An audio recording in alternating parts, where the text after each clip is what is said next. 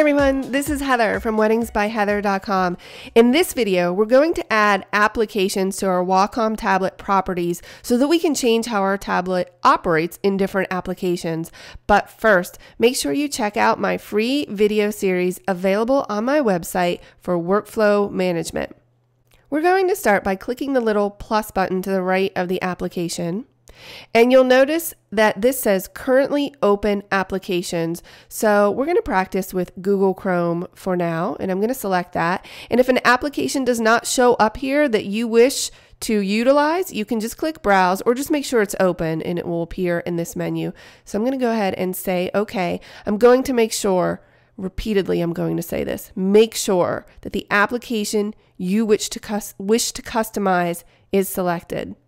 Because if you say all other and you sit here and program all of this and then you're like, oh, man, I meant to do that in Google Chrome. Just make sure you have that selected. It's going to be the same for the grip pen. If I want to change the grip pen, how it works in Chrome, I need to add Chrome to the grip pen and I'm going to go, go ahead and say okay. And there it is. So back to the functions and back to the grip pen, you'll see that Google Chrome is now available. Okay, let's jump over to these functions, for instance. So one of the things that uh, keyboard shortcuts that I use most often in Chrome is I spend a lot of time in Gmail. And so I want to be able to compose a message really quickly. I've turned on the keyboard shortcuts in Gmail. Those are in your settings. They have additional keyboard shortcuts. You just have to make sure those are turned on.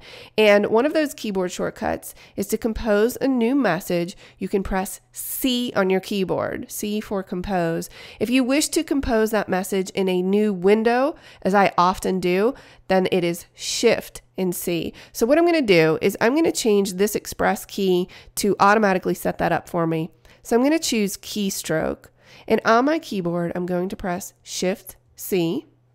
And I'm going to name this Compose. So that will tell me, and it will show up on my tablet, that is Compose for Gmail.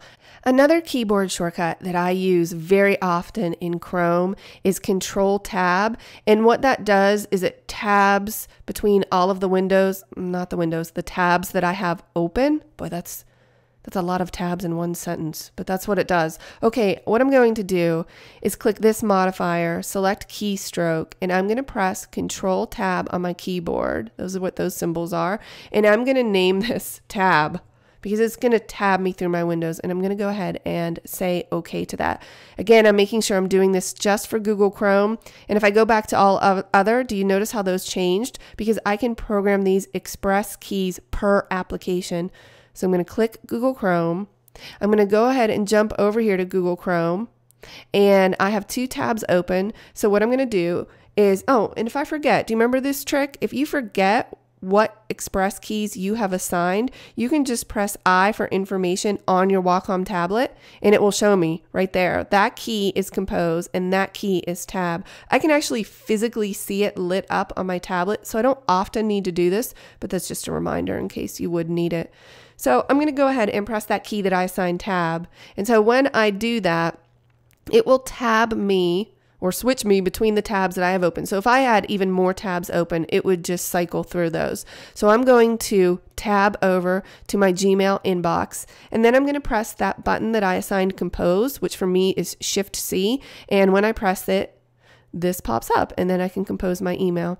And that's just a quick tip for some Chrome keyboard shortcuts. Obviously, you need to look at your own personal workflow and understand what you use more, most often. Again, as I've said in the past, I am a keyboard shortcut fanatic because I believe it saves you countless hours over the course of your editing career. And so it's really important to me. It leads to my efficiency. I hope that you found this useful. In the next video, we'll start to dig deeper into these application settings using Lightroom and Photoshop.